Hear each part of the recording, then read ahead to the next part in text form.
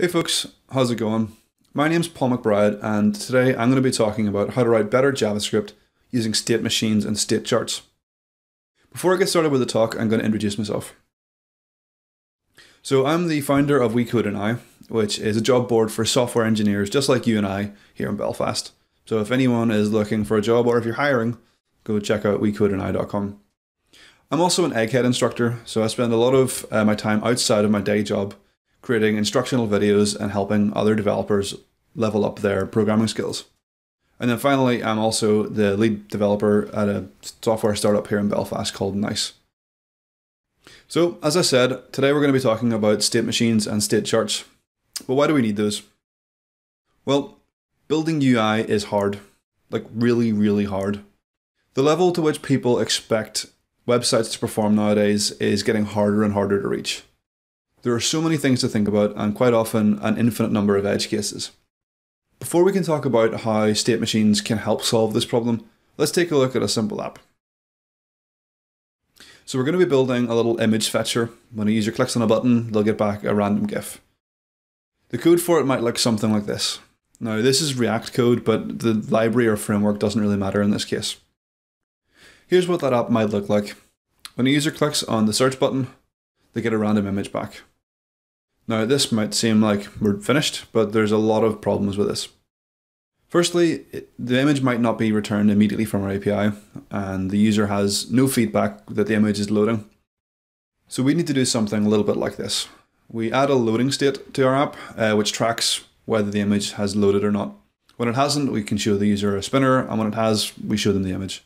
And that would look like this. So the user clicks search, they get a spinner, and then whenever the image is ready, the image pops up. But there are more problems with this.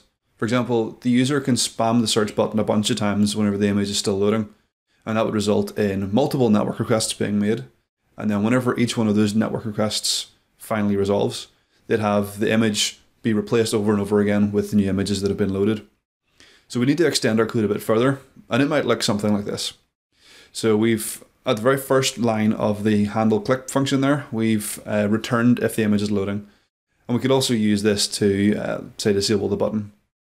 And that would look something like this. So these are click search, they get a spinner, and then the button's disabled, so they can click on that as many times as they want, but nothing happens. And then the image eventually loads in it, and they get to see it. But there's problems with this too, because we haven't taken into account what would happen if the image fails to load. So we can extend our code again, and it would look like this. Now you can see we're tracking uh, some error state, and we can use that to decide whether or not to show the user an error message. And there are so many other steps we would have to take here to make this as bulletproof as users would expect an app to be. For example, they might want to be able to cancel that request, so whenever the image is being loaded, if they click the search button again, or we would change it to cancel, we cancel the request. And that code would look like this. As you can see, for this really simple app, we have a lot of code in our event handler. We have our business logic tightly coupled to our UI, and that's not a good thing. This is commonly called bottom up development, and there's, there's a lot of problems with it, so let's discuss those. Firstly, this code is more difficult to test than it needs to be. Because our application logic is so tightly coupled to our UI logic, we kind of have to test them both together, and that isn't ideal. It's also kind of hard to read. There was a lot of code there bundled into a single function that handled things across our app. And this was just a simple app. You can imagine how, in a more complicated app, that function would be much more complicated as well. Because it's hard to read, that results in more bugs, and no one likes bugs in their software. It's also very, very difficult to extend. The more features you add, the more stuff you've got to add to those event handlers. And that results in an app that is extremely difficult to maintain and extend. There is an alternative though, and that gets us kind of into what I want to talk about here, and that is finite state machines. So, what are finite state machines? It sounds like quite a complicated term, and if you were to Google finite state machines and end up on Wikipedia, it would probably agree with you. Wikipedia describes them as a mathematical model for computation, but that doesn't really tell us much. Basically, finite state machines have to follow five simple rules. The first of which is that a finite state machine has to have a finite number of states. That seems pretty self explanatory. It also has to have a finite number of events. Third rule is that there has to be an initial state. There has to be a transition function which determines the next state given the current state and an event. And that sounds a lot like a reducer for those that are familiar with uh, Redux. And then it has to have a possibly empty set of final states. Let's take a look at an example of what a finite state machine would look like in the real world. I'm going to use a turnstile as our example here. So that's the little gate you would have to push through to get into, say, a train station. So a turnstile has two states basically, locked and unlocked. It has to be in one of those states, so it can't be in both and it can't be in neither. And typically the initial state would be locked. To go from the locked state to the unlocked state, you would insert a coin. So in this case, the event would be coin. And then no matter how many times you insert another coin when you're in the unlocked state, you stay unlocked. And to go back to the locked state, you would push through the, the unlocked gate. If you're locked and you try to push through, nothing happens. This is called a state transition diagram, or STD for short. But we'll stick with state transition diagram. Let's take a look at another example.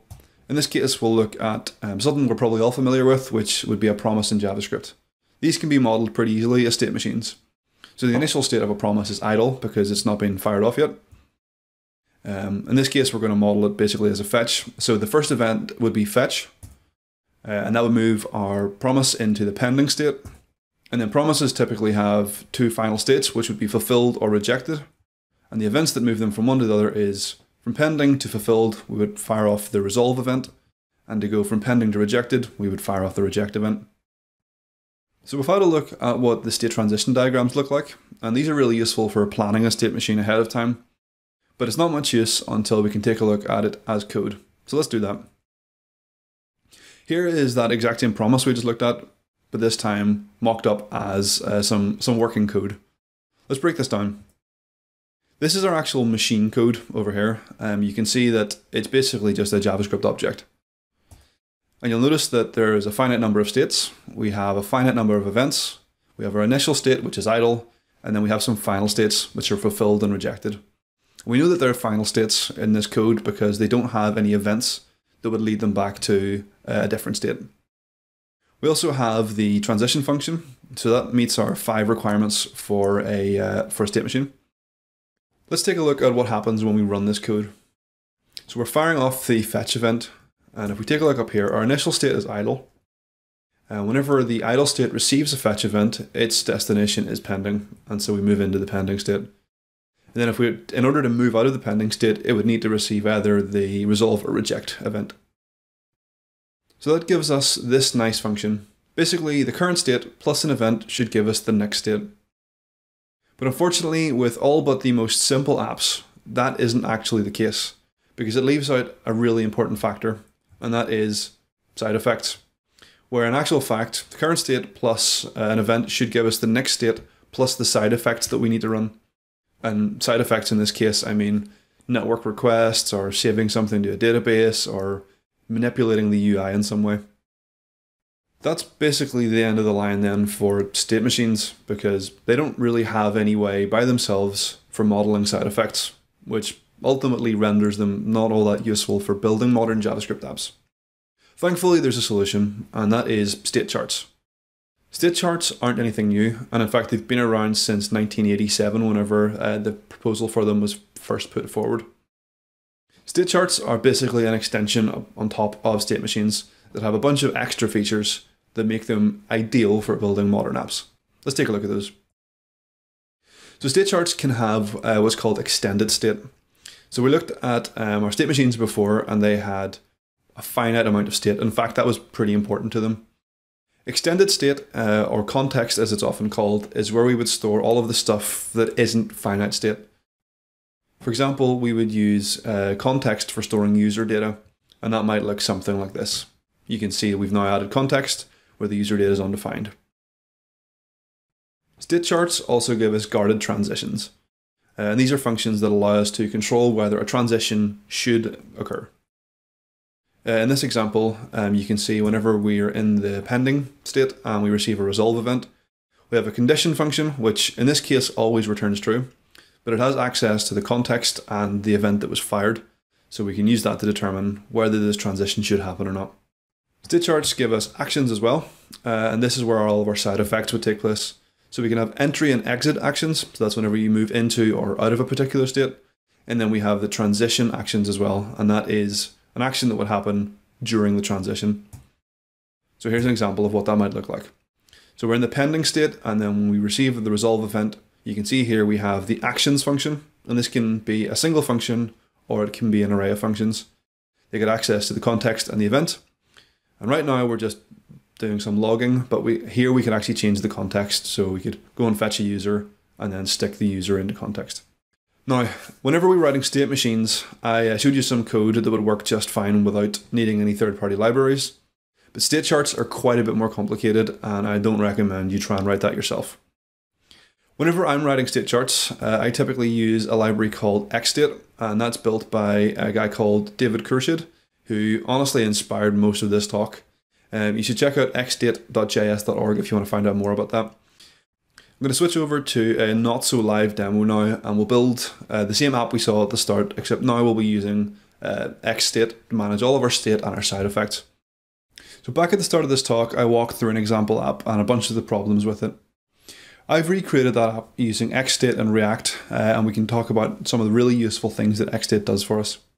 To begin with, you can see that I've imported machine and assign from XState, and I've also imported useState from XState React. This is just a little helper that um, allows us to interpret machines for React. There's helpers for Vue and stuff as well. They work for basically every JavaScript library, and also for apps built without JavaScript libraries. Let's take a look at the machine. So we can see here that the initial state is idle. We've got uh, context, which stores an image URL, which is undefined by default. And then we have all of our states. Before we dive into how, how it works, uh, let's see the app in action. So I click the search button. I go into a loading state. And initially I got an error. My uh, image loader is designed to throw some errors sometimes so that I could test it. But I can retry that. And eventually I'll get a GIF. Uh, whenever the um, image is successfully loaded, um, we can retry it again as well. And whenever it's actually loading, we can cancel it and we end up back at the idle state. So if we take a look over at how this is implemented, we'll look at the idle state first of all, and it responds to only to a load event. When that happens, it moves to fetching. Now we'll come back to fetching in a minute because it does some complicated stuff that I'd like to dive into a little bit more deeply. But we've also got error and done, and these both work exactly the same way. So they both respond to the retry event, and that pushes them back into fetching. So if we take a look at the uh, fetching state, uh, you'll notice two things here. First of all, there's the thing we've already seen before. Um, there's the on object, which describes the events it responds to. And in this case, it will listen to cancel, which moves it back into idle. But we've also got this invoke object. And what that does is that when we move into this state, it basically invokes a service. So we can open it up and have a look we have the source for the service, which is the function load image, which I've imported up here. It basically just returns a promise. And we've also got uh, on done and on error. So on error is pretty straightforward. If this promise rejects, uh, we move to the error state. So whenever the promise in load image uh, resolves, we move to on done, which sends us to the um, done state. And then this action function fires and what it does is takes the data that this promise has given us, uh, in this case it's just an image URL, and we're, we're assigning it to the uh, image URL in context. This assign function is the thing that's imported from XState. So let's fold this back up again. And as you can see, it all works just like how we described. So we can cancel it, we go back to idle, we can search, and hopefully we'll get an image. We can retry to start it again, and so on. Now, XState has a bunch of other features as well that aren't just related to actually writing your uh, state machine. Let's take a look at the React component and how this how this works. So we're using this uh, use machine function, which we imported from XState React, uh, and we're passing our machine into it, which is what we defined here. Now that returns an array of current and send, current being the current state, and send being a function we use to send uh, events to our machine. Now this, this current value here is actually quite interesting um, because it's not just the current state, it is the um, full data that's held within our state machine and has some useful methods on it as well. Uh, specifically this matches method. So current dot matches idle. And this can be useful if our state is more complicated than uh, just a string, which it is in all these cases. But we're using this to just uh, render out the appropriate UI. So when we're idle, uh, we show a button that has search. Whenever we're fetching, we've got another button that shows cancel, and so on. Now, I think this in itself is a really compelling reason to use uh, XState. It allows us to very explicitly define what happens uh, as our app as we move around our app and how to handle errors. It can handle network requests and stuff for us. But there's one other really cool feature which I've not spoken about just yet, and I'm going to show you how it works now. So we're going to start by importing inspect, and that comes from a separate library, which is uh, xstate inspect. We're going to invoke that function, and I'm just going to paste in the configuration options that we need. And then finally, if we scroll down to our use machine call, it takes a second argument, which is uh, the options array, or the options object, sorry. And we want to set DevTools to true. Now when I do this, you can see that the app reloaded and it opened up this uh, extra page. So let's pull that out and take a look. So it's actually created the uh, state transition diagram uh, automatically for us from our code and it allows us to click through this um, as if we were interacting with our own UI. So if we head back to the app, you can see we're in the idle state, and that's reflected here. Um, and I can send it the load event. It starts the function that we had defined, and in this case, it has resolved successfully, and we've got our GIF. I can hit retry, come back here, and this all stays in sync with the actual app itself. It's one of the coolest features of XState. So the conclusions of this then. So some of the pros of using XState, state charts, and state machines is that your code is typically easier to understand. There's one place to go to to find out what your app should do and when it should do it, which means that onboarding new developers is really easy. It also decouples your UI from your business logic, which means that if you ever do need to switch out your UI library, that's pretty easy to do because you don't need to rewrite all your business logic in the way that that UI expects it to be done. State charts also scale really well with complexity. Um, because of the, of the, fact that they're hierarchical, meaning you can put a state chart inside a state chart and so on, uh, we can have very small focus state charts, which are easier to read, easier to maintain, and so on. Tools like XState also give us ways to visually debug our app. Uh, and in fact, if you have a state chart, um, XState can create the state transition diagram for you. And this means it's really easy to see um, parts of our app that we might have missed or edge cases that we haven't covered. Like all things, however, there are trade offs. So if you want to use XState or state charts in general, it's a new technology to learn, and for some, this can be an unnecessary burden. Another major downside is that for smaller apps, typically whenever you're writing state charts, you end up with more lines of code overall. This obviously pays off more as you as you build bigger apps, but whenever you're first getting started, or if your app is small and not particularly complicated, state charts might actually make them more complicated. If your users are particularly sensitive to your JavaScript bundle size as well, uh, state charts might not be a good idea because you're typically going to need a library such as XState, um, and that can obviously increase your bundle size. In conclusion, I think that tools like state charts and in particular XState are fantastic for building modern JavaScript apps. There are some downsides to using a tool like this, but I think the pros outweigh those in almost all cases. I talk about XState, state charts, and all other things JavaScript related over on Twitter. So if you're interested in asking me some questions or carrying on this discussion, follow me at the Paul McBride.